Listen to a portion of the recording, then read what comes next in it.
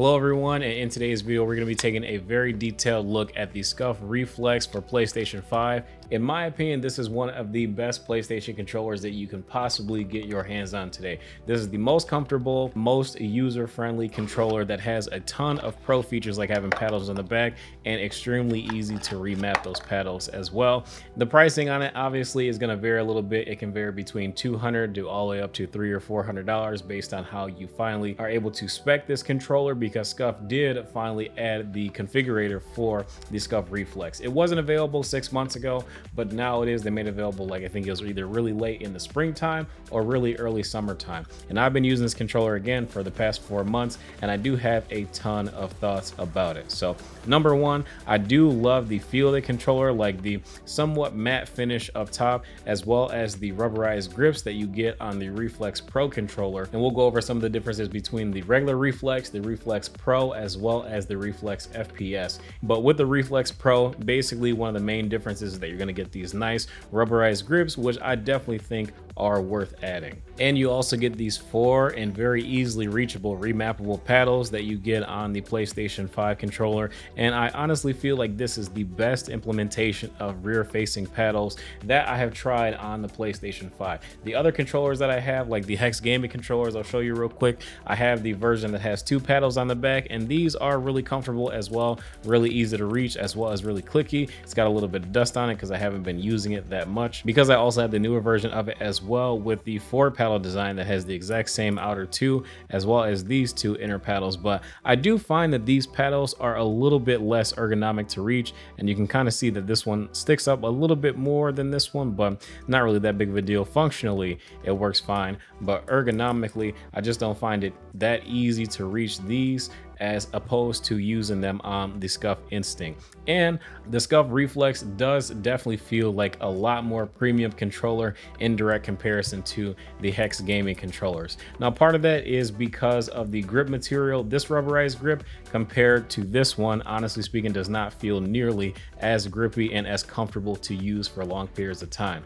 But uh, SCUF, they definitely got it down as far as the grip and also the texture up top. I do prefer this more matte slash satin finish as compared to the glossy finish, which is obviously part of the choice of uh, the design that I went with. I knew it was going to be glossy, but but honestly, I really don't love glossy coatings. I love the way the controller looks, but just not the way that the controller feels with this glossy design. Wish there was a way to have uh, the same design with a matte coating instead. Now going back to these paddles, you can very easily remap these paddles. All you have to do is tap the profile button, then press and hold it until this little indicator on the front of your controller starts to blink. Then once that is blinking, you will press and hold whatever paddle you want to remap, and then you'll go back over to the face buttons and tap the face button that you want to remap to the paddle that you're holding. And once you're done remapping all of your paddles, you will then press the profile button again to save all of your profiles. And that's pretty much it. It's very easy to change the uh, paddle remapping and whatnot on this controller, but you also do have three different profiles that you can save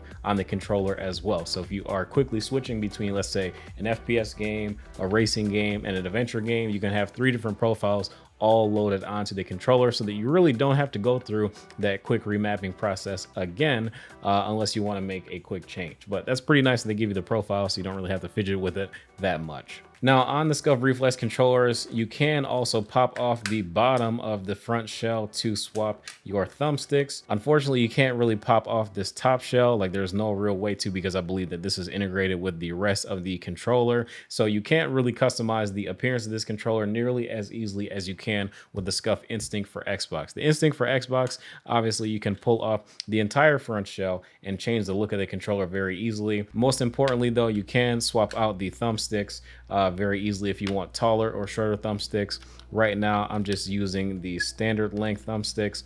And I'm not going to hold you guys up. These SCUF thumbsticks that they've been using on the new controllers are very, very good. Like after having the controller for four months, I really don't feel any wear and tear that is like horribly different from what I felt on day one. Like compared to day one, they definitely feel a lot smoother, but the older Scuf thumbsticks basically used to deteriorate and break like they were that bad.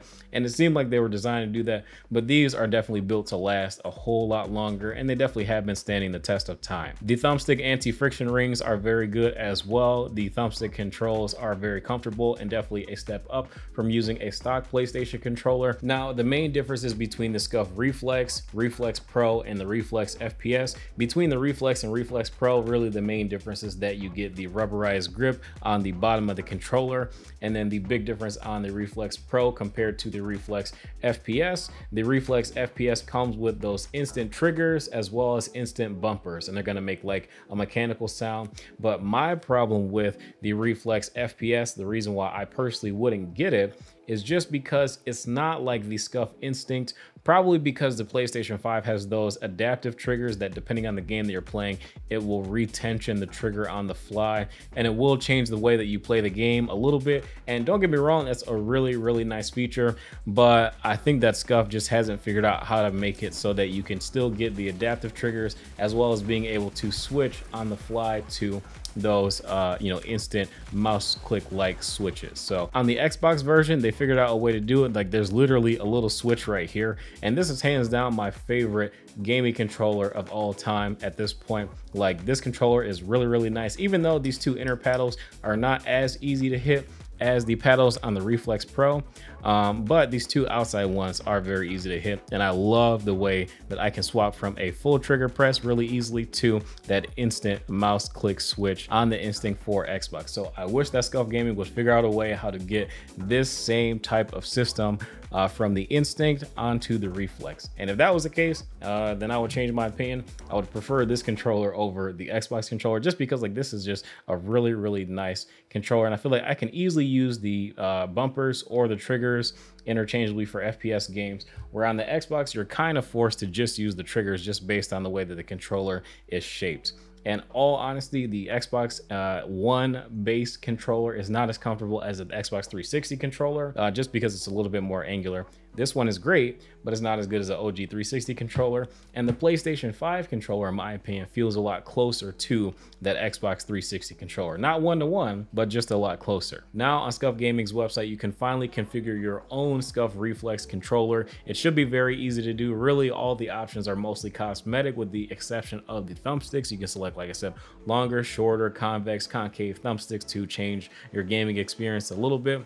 And personally, again, for the PlayStation 5, I would definitely go with the Reflex Pro as opposed to the Reflex FPS.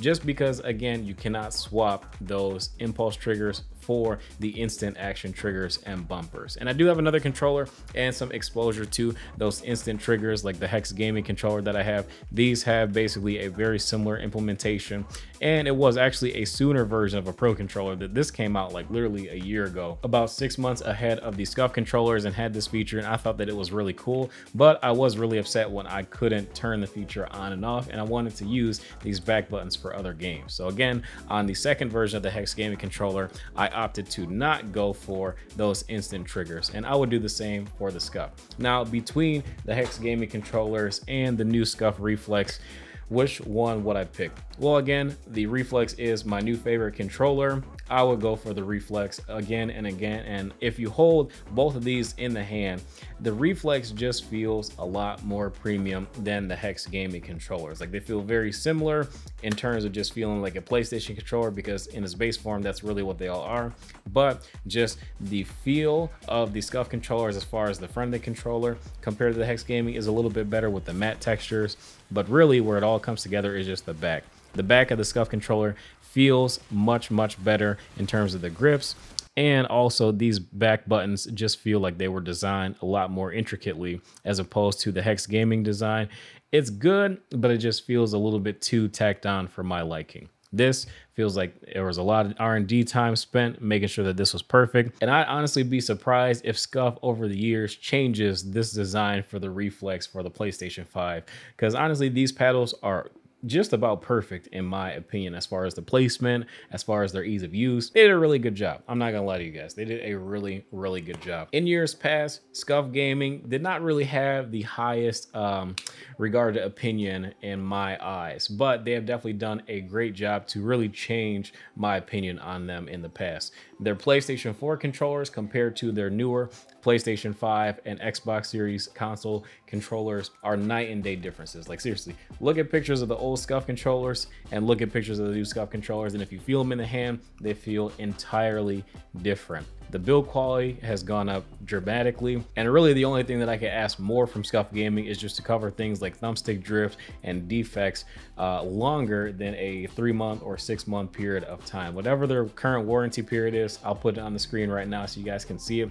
But I wish that their warranties were at least a minimum of a year. 18 months would be nice, but minimum a year because their controllers are just so much money. You really would not expect something to go wrong in the first six months anyways. But after, you know, nine months, a year of hardcore gaming, if things start going wrong and you spent over $200 on a controller, I would definitely be really upset. But anyways, thank you guys for watching this video. If you enjoy, drop a like and subscribe to the channel as well. And drop a comment. What do you guys think of the new Scuf Gaming controllers? Do you like them?